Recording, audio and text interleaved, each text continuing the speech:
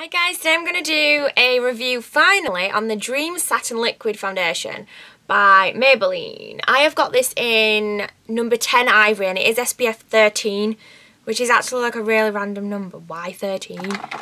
What's this one? This is SPF 20. Hmm, interesting. I think I've already been through this before, but whatevs. So I have primed my face. Don't mind my wet hair, I've just washed it. It smells so good.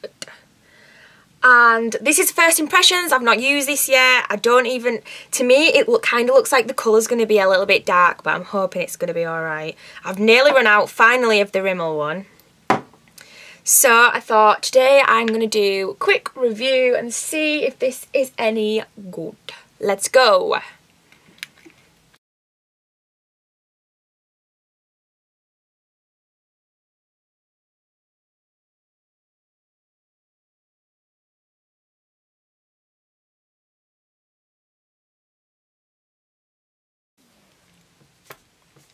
Okay, so first impressions. I feel like I prefer the Rimmel one so far. Shade wise, um, no, yeah, I think it matches quite well actually. It does match, it matches quite well.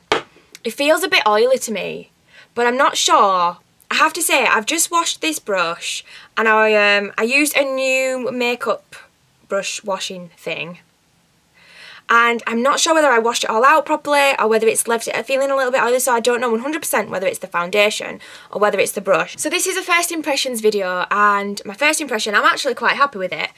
Um, I don't think I'm as happy as I was with this one. This is just amazing. I'm absolutely in love with this. Um, it doesn't skin light essence.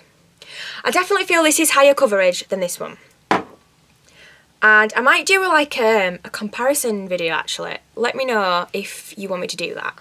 But I'm happy with it. I'll be using it. I'll be using it till it's all gone, definitely. You will see it in some videos. If you have been subscribed to me for a while, then you will know that I go on about this one all the time and I use it in the video and I talk about how amazing it is. So the same thing will happen with this. I'll either say, mm, I'm actually not too keen on this, or I'll be saying, this is amazing, get it. So just keep watching out for that. But First impressions, I'm happy with it. It's good. It's natural. It does look quite natural, actually. Um, matchy, what the frig? Shade match. Shade match I'm happy with. Maybe not as well as the other one. I'm very, very pale. I'm so pale. So actually, this is probably going to be perfect in like a month's time when I get a little bit of colour to myself. Because it, it is perfectly fine for me to wear now. But it, it has got that little bit of, of um, tannishness to it because I'm so pale. But yeah, I'm quite happy with this actually. Woo! So I hope this was helpful. I um, If you've used this, then leave me some comments. Let me know your opinion of it. I definitely would say it's not as high coverage as the other one. So it's more probably more of a medium coverage. It's not a low coverage though. I'd say medium coverage, so yeah, I'm happy with that. So thanks for watching guys and we'll see you very very soon and make sure to subscribe and give me a thumbs up because that would be awesome. I love you guys lots and I'll see you soon.